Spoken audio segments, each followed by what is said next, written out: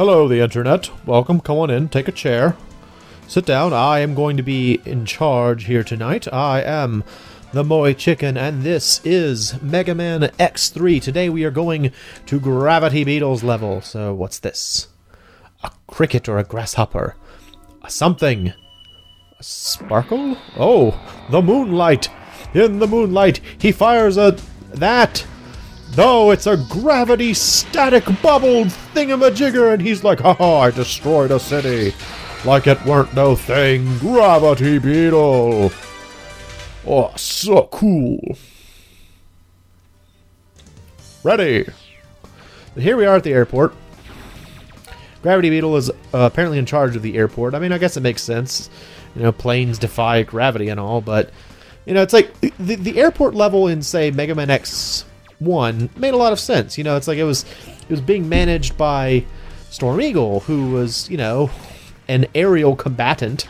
So it kind of made sense that he would be here. You know, like if, if you were if you were Sigma, it's like oh, go forth, my minions, and take control of the things that are you know reasonable for you. You, Chill Penguin, go take care of the Arctic base. You, Spark Mandrill, you have Christmas lights on you. Go take care of the electric plant. And he's like, Storm Eagle, you go and take over the airport. Yes, this is a perfect plan. Oh, I want that. We'll have to come back later for that. There's a there's a trick you have to use to get in there, but we cannot do it yet. So we're gonna have to come back. But um, but yeah, and then in this level or in this game, it's sort of like Doctor Doppler's like, "Go forth, my Reploids! You, uh, Blast Hornet, you have bombs in your abdomen." Go and take over the military base. You, Gravity Beetle, you're a heavy beetle that has gravitational powers. Why don't you take care of the airport or something? You know, it's like that, that doesn't really doesn't really flow very well. Oh, and right up here, so I want that. That will come very much in handy in just a little while. So I can get it. I can't actually use it yet though. It's kind of a strange thing. Um, I'll explain what it is. Basically, that was a ride armor. You there are four ride armor items that you can find in this game. Um, I think it's like F, N, M, and H. Maybe I think. I think it's. I think one of them's an M. Um, I don't know what they stand for. I think I think F stands for frog because it hops. It, it hops and it's equip. It's amphibious. But um, in order to use in order to use them, you use those big uh, those like platforms, the dancing time platforms. But you actually cannot use them until you get the N version specifically. That's supposed to be, I guess, the first one you find. It's also the one that's sort of the most obvious what it is. Uh, because you actually just find the ride armor. You find it like in Blast Hornet's level, it's just kind of like in a warehouse, and then you can ride it. And as soon as you ride it the first time, you then have the N item. It just kind of automatically shows up in your inventory.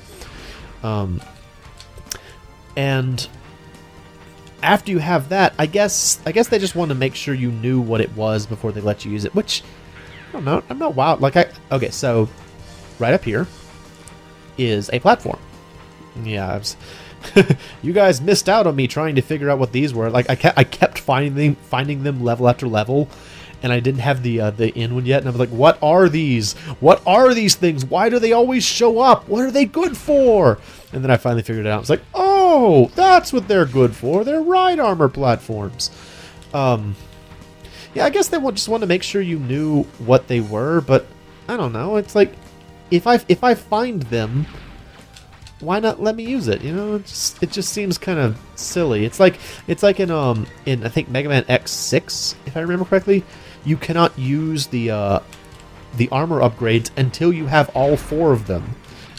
I really, I'm really not wild about that idea. You know, it's like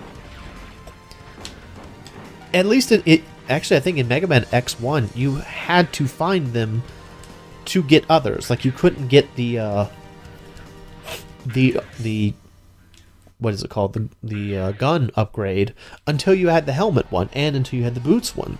So it I don't know. It, I liked it better when it was sort of like I don't know. You could use them. It seemed to make more sense to me. All right, now this guy, the way this guy fights is he throws those little balls. Um, and actually, he's being a lot harder this time than he was the first time I fought him. The first time I fought him, he he did kept doing his other attack, which is to charge you, uh, which is a lot easier to avoid, honestly. Now he makes that and he can jump higher, and he charges, I guess, faster. That yeah, that that's a much easier attack to deal with when he just starts charging. You can just jump over it. Not not a problem at all. Although that, that both both his like shield effect and also that gravity well up there, those are pretty cool. I like that kind of stuff. It's like um in Chrono Trigger when you would uh shoot someone with magic, they would like change colors like that and shot. You're done. Blow up. Blow up, blow up, good sir. I am done with you. But yeah, I, I like that kind of like color, color themed, uh, cycling color effect. I have no idea what it's actually called. Cool Chrono Trigger looking thing. Whatever. It's cool. There we go. We beat Gravity Beetle. All intentional. Perfect. Wonderfully executed uh, commentary. Sure, you all love it. Anyway, that was Gravity Beetle. And we got Gravity Well. Super sweet Gravity Well. See you later. So, that's going to be it for. Well. Huh. This is a very short episode. Did not take me very long at all to beat him. Hmm. Alright, twofer. I'll do another level. Why not?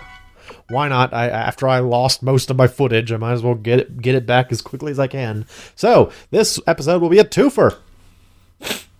We are also going to play uh, this guy, Blast Hornet. Let's see what he's all about. It's an eyeball, a satellite. Beam! And he blows up a city. Jeez. And then he just kind of flies away. He's like, I blew up that city. Pose! My all-purpose creepy villain voice that I use over and over again because I love it so. Sounds a little bit like Skeletor, whatever. This is Blast Hornet stage. He is he has taken over a military base, and we are here to take it back. Now, beating Blast Hornet is actually one of the major contributors to like uh, the environmental effects, where like you you beat somebody and things change.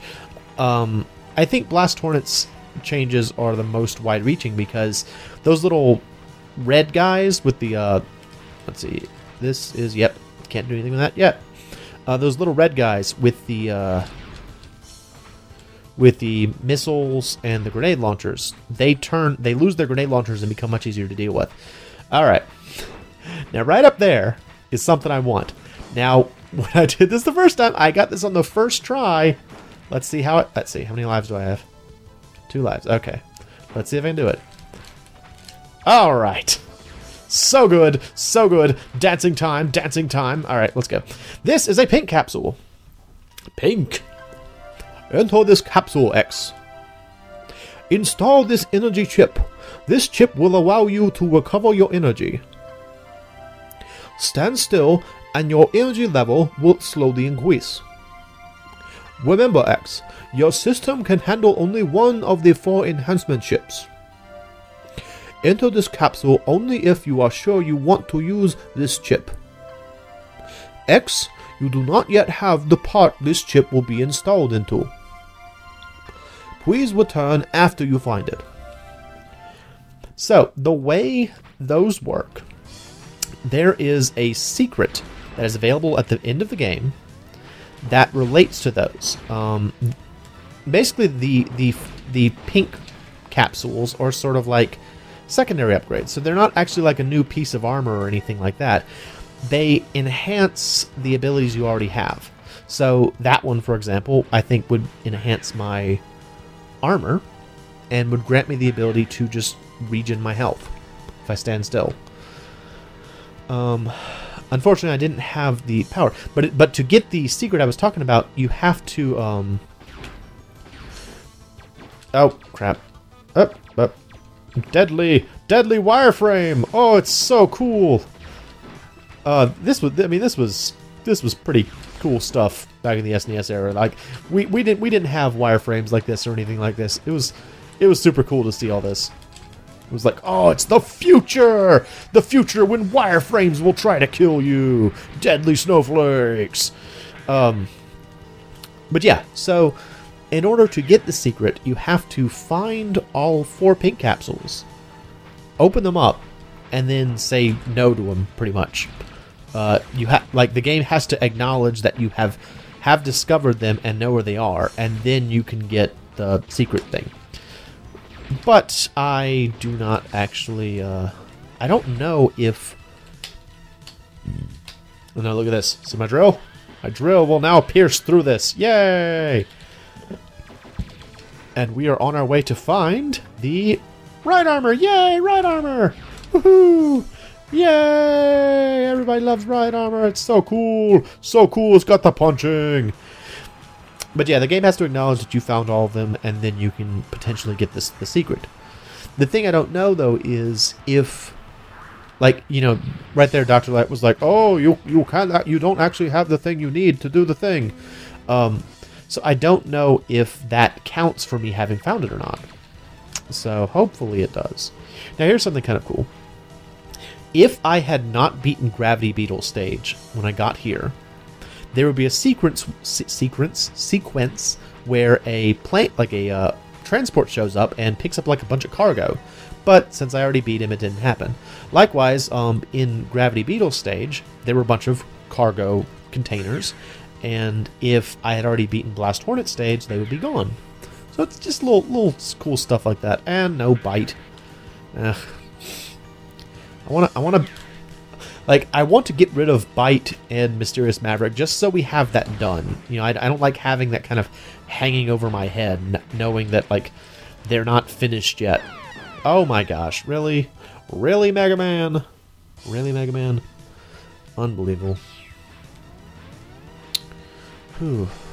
Yeah, these these these levels are going a little bit faster since I just did them. I just like I just finished playing through all of them, so it's I kind of already know what I'm doing a little fru- still I'm still a little frustrated about it. Like to explain, if, if you weren't here for the last last Super Despair episode, um, I recorded a bunch of episodes tonight, and then lost the footage, which means I have to get them get it again.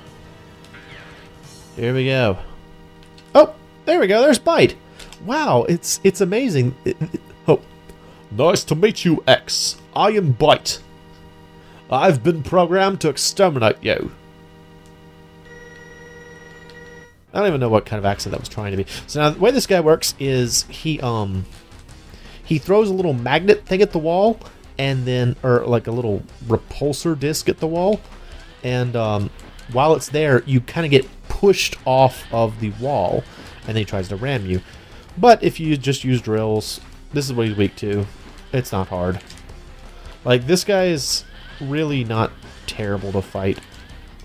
Especially compared to Bit. Like, I remember this guy being harder because when I was younger, I didn't know how to fight him. Like, I didn't know what the repulsor thing was doing, so I was just like, oh, he's so strong, I can't stick to the walls. Oh, what do I do? And then then I learned it's just, it's really very easy. Oh, and then he does that. That that move is devastating. Where he does this little crazy punch. I'm glad you got to see it. No, how can this great power be generated from within such an ancient machine? Well done, X. This victory is yours.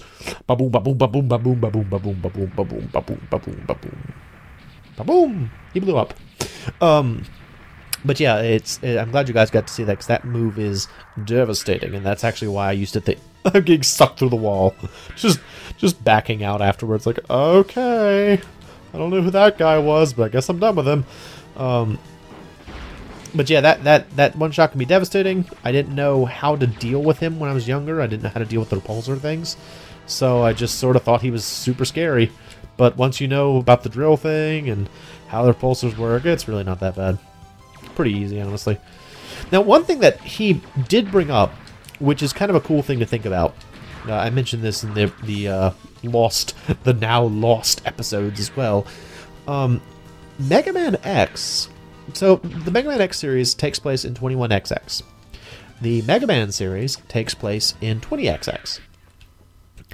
Um, so there is time between them, and I mean, it, it's sort of implied that like that uh, at well, we we know at least thirty years have passed because that's how long X was in his diagnostic chamber um, when he was being sort of tested for his ethics pro- ethics programming. I guess the best way to describe it. Um, and so some time has passed, and so X here is actually a very old robot. Like, and and that that was sort of what Byte brought up. He's like, how can such an ancient machine really be this powerful? And if you think about it, it's like, yeah, well, I mean, it's, it's a computer. It's like, it's it seems like it should be pretty terrible, honestly. I'm actually doing not not that bad at this guy. So the way Blast Hornet works is uh, that little pink circle, I guess, uh, will track you, and then his little drones will fly around and... Uh, he's gonna kill me, yeah. He killed me. His drones will basically home in on you based on, on that little tracking device. Um, I didn't say anything about the beginning of the fight. This this fight was uh, pretty tough last time I did this.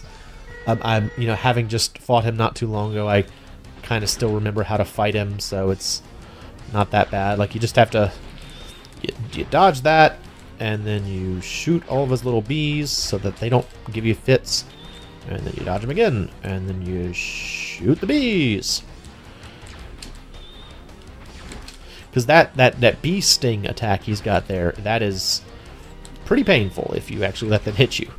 But it's pretty easy to dodge if you know it's coming. Um, you just kind of have to go under it. Just go under it. Usually the easiest way to take care of it. Whoop. Mm -hmm. Sting! Ugh. I was doing better last time. it starts to go faster.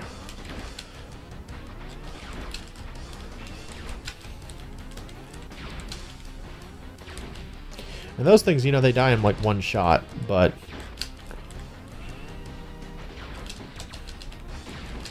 You just have to actually hit them. Have to actually hit them. Do do do. Sorry if I go quiet. This is this is probably one of the harder Reploids in this game because a lot of the Reploids in this game just really aren't that bad. Oh, look at it! Look at his his wings. Uh, he looks like he's got like sad dog ears. He's like, "Oh, you blew me up. I just wanted to use that cool bee helicopter back there and shoot a satellite laser and blow up a city. You didn't have to shoot me." Oh. Poor Blast Hornet. Oh, look at my super military uniform. Looks very, very, like, commando-y. You get... Parasitic Bomb. That's a little bomb that will, like, stick onto enemies.